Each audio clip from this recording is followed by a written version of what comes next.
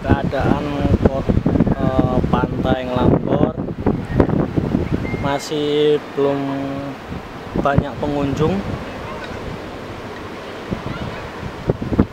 Di bawah ada banyak para pengunjung yang sedang bermain air. Pantainya jernih.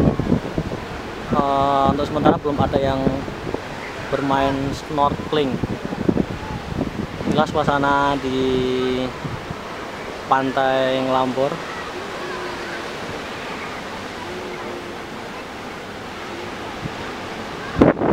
ini sebelah pantai selatan atau samudra India. Untuk teman-teman yang mau camping juga bisa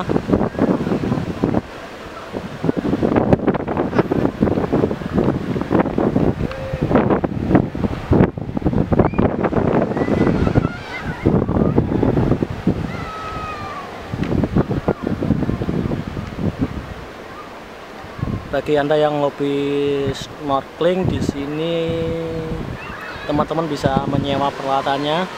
Eh, cukup membayar 50.000 per orang